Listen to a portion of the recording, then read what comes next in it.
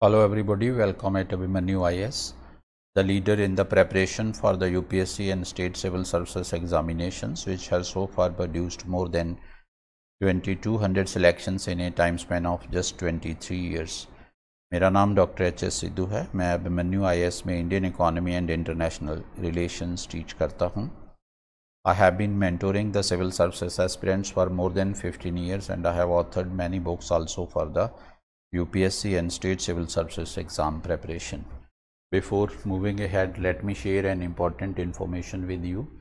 At Abhimanyu IS, we are commencing the fresh batches for the UPSC and state civil services preliminary and main examinations targeting 2023 and 24. These batches will be available through offline and online mode and we are providing 7 days free trial class also if you want to join the classes you may click on the link given in the description.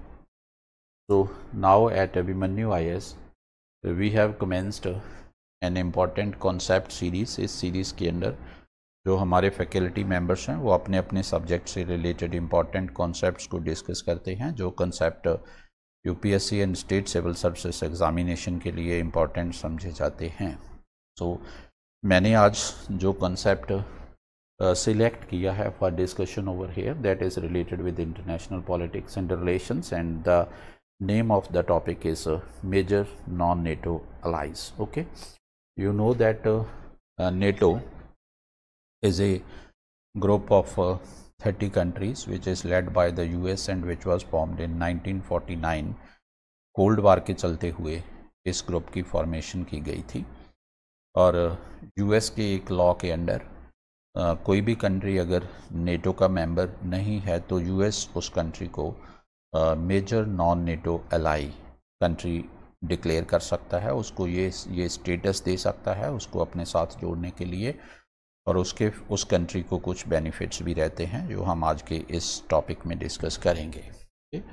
So so, पहली बात है कि हम इसको discuss क्यों करने जा रहे हैं आज? Because recently the U S has terminated the designation of Afghanistan as a major non NATO ally so U S ने रिसेंटली जो अफ़गानिस्तान का मेजर नॉन नेटो अलाई का जो स्टेटस है, उसको यू कैन से टर्मिनेट किया है अभी अभी इसी month so that is why मैंने सोचा कि आज इस कॉन्सेप्ट को हम डिस्कस कर लेते हैं, क्योंकि इस कॉन्सेप्ट से रिलेटेड कुछ ना कुछ क्वेश्चन पूछा जा सकता है। In the coming civil services examinations so अब देखते हैं कि ये जो major non NATO ally status जिसको हम M N N A status कहते हैं, ये क्या है? It is a designation under the U S law it provides foreign partners with certain benefits in area of defence trade and security cooperation तो जिस country को यू एस लॉ के under major non NATO ally declare करता है। सो so, उस country को कुछ benefits मिलते हैं। In area of defence trade defence trade and security cooperation so it is a powerful symbol of the close relationship of a country with the U S ये अपने आप में कंट्री को एक प्रेस्टेज देता है एक पावरफुल सिंबल बनता है जो इस चीज़ को रिफ्लेक्ट करता है कि ये जो पर्टिकुलर कंट्री है this country is a having a very close relationship और cordial or warm relationship or good relationship with the US. So MNA status क्या प्रोवाइड करता है? It provides a country military और इकोनॉमिक प्रिविलेजेस ओके सो जो भी country को U S M N N A status देगा तो उस कंट्री को आ, क्या मिलेगा? इकोनॉमिक प्रिविलेजेस मिलेंगे। मिलिट्री प्रिविलेजेस मिलेंगे, but yes, it does not entail any security commitment to a designated country. But इसमें जैसे कि जो नेटो मेंबर्स हैं, वो उनके अंदर एक सिक्योरिटी कमिटमेंट है। जब किसी एक कंट्री की सॉवरेनिटी के ऊपर कोई अटैक करता है तो ये माना जाता है कि एंटायर नेटो ग्रुप की सॉवरेनिटी के ऊपर अटैक किया गया है और सभी कंट्रीज़ उसकी सपोर्ट करते हैं। बट ऐसी कमिटमेंट एक मेजर नॉन नेटो अलाई के साथ नहीं होती यूएसए की। So privileges under the M N N status इसके अंडर कौन कौन से प्रिविलेजेस हैं जो वो एक फॉरेन कंट्री को मिलते हैं?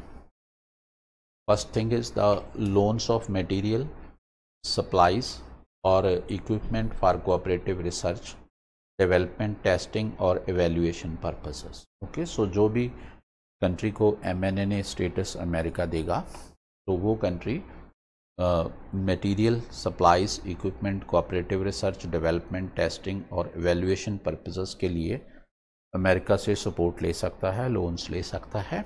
And eligible for a location for US owned reserve stockpile to be placed in its territory outside of US military facilities तो जो country M N N A status वाला होगा सो उस कंट्री के अंदर यू एस है जो, वो अपने रिज़र्व स्टॉक पाइल्स प्लेस कर सकेगा, रख सकेगा। यू एस मिलिट्री फैसिलिटीज़ के बाहर obviously so this is next privilege and the next is such a country can enter into agreements with the U S for the cooperative furnishing of training on a bilateral और multilateral basis okay so training bilateral basis के ऊपर, multilateral basis के ऊपर ऐसी training events को organise किया जा सकता है, okay? With agreement with the US eligibility to the maximum extent feasible for priority delivery of excess defence article transferred under foreign assistance act of the US so US के foreign assistance act के under अगर कोई you can say this defence articles deliver की जाती है तो इस country को प्रायोरिटी मिलेगी, जिस कंट्री के पास M N N A status है। So eligible for concentration to purchase depleted uranium ammunition तो ये डिप्लीटेड यूरेनियम एम्यूनेशन परचेज करने के लिए भी एलिजिबल हो जाता है ऐसा country it allows forms of N M N N A to bid for contracts for maintenance, repair or overhaul of the US Department of Defense outside of the US. Okay, so ये क्या है एक major non NATO ally country को okay okay, जो you can say this maintenance repair और overhaul of the US department of defence vehicles है जो सो so उसके लिए भी यू कैन से ये कॉन्ट्रैक्ट ले सकता है ऐसा कंट्री बिड कर सकता है for contract so this is another benefit okay so as of today there are 18 countries of the world which, is, which are enjoying the major non-NATO ally status of the US. तो वो कौन कौन से country हैं जो ये enjoy कर रहे हैं अभी स्टेटस अर्जेंटीना है ऑस्ट्रेलिया है बहरेन है Brazil Colombia Egypt Israel Japan Jordan Kuwait Morocco New Zealand Pakistan Philippines Qatar South Korea Thailand and Tunisia अभी इंडिया के लिए भी ये बात चल रही है कि इंडिया को स्टेटस ये स्टेटस दिया जाए। सो so, अगर ऐसी बात है तो ये यूपीएससी के लिए एक इंपॉर्टेंट क्वेश्चन बन सकता है कि क्या इंडिया को जो major non NATO ally status मिलना चाहिए या ना अगर इंडिया को ये एम एन स्टेटस मिलता है तो इसके क्या प्रॉस एंड कॉन्स होंगे इंडिया के लिए? सो so, ऐसा क्वेश्चन यूपीएससी के मेंस में बन सकता है। आप ट्राई करना इस क्वेश्चन का आंसर प्रिपेयर करने के लिए okay so the M N status was first created in 1987 Taiwan is treated as an MNNA with a formal uh, uh, without a formal declaration. Okay, इस चीज़ को यहाँ correct करना है without a formal declaration. Okay. Taiwan को non NATO ally country consider किया जाता है बस उस बट उसके लिए यूएस uh, की तरफ़ से कोई फॉर्मल डिक्लेरेशन है जो वो नहीं हुई ओके सो ये major non NATO ally status हो गया। अभी अभी क्योंकि अफ़गानिस्तान का major non NATO ally status है जो वो कैंसिल किया है टर्मिनेट किया है यूएसए ने, जो पहले इसको दिया गया था। ओके तो अगर एक कंट्री को यूएस का major non NATO ally status मिलता है तो उस कंट्री को कौन कौन से प्रिविलेजेस मिलते हैं, वो हमने इसके अंदर डिस्कस किए हैं। और अभी दुनिया में कितने कंट्रीज़ हैं जिनको यूएस का एम स्टेटस मिला हुआ है ओके तो ये भी हमने डिस्कस किया है और प्रिलिमिनरी में ऐसा क्वेश्चन पूछा जा सकता है कि एमएनए ने स्टेटस यूएसए ने कब स्टार्ट किया 1987 में स्टार्ट किया?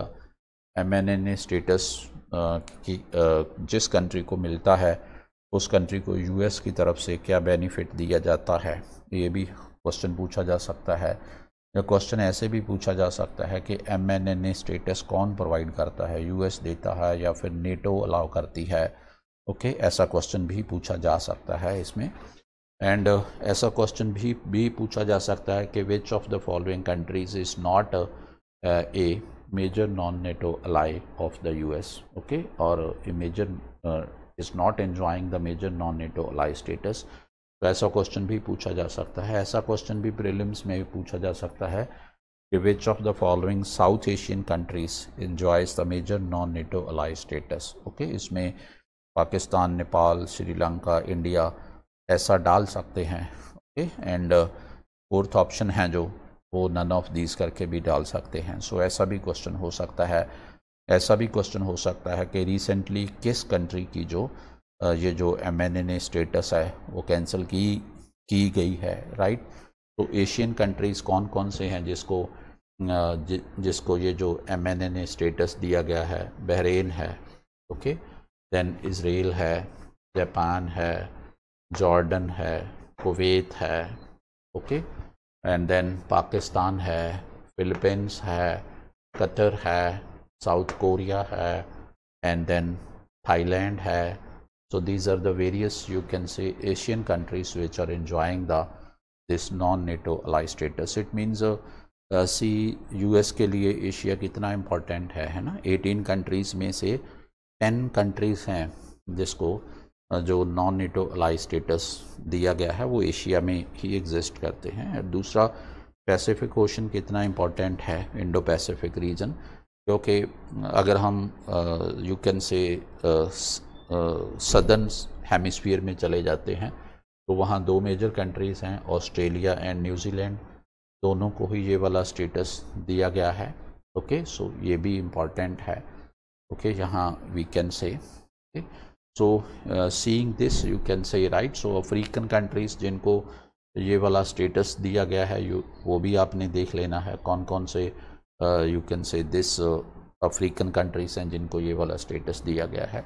So in this respect uh, this is considered very much important. Uh, so i hope this concept is clear to you कि major non NATO ally status क्या होता है कौन देता है किसको मिलता है जिसको मिलता है उसको क्या बेनिफिट होते हैं राइट भारत को ये स्टेटस मिलना चाहिए या ना? अगर मिलता है तो इसके प्रॉस एंड कॉन्स क्या होंगे?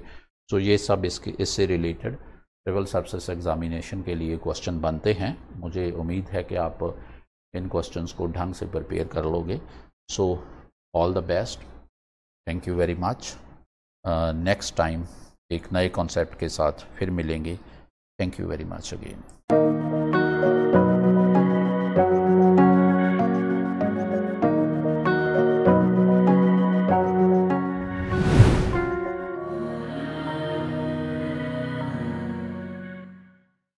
Again.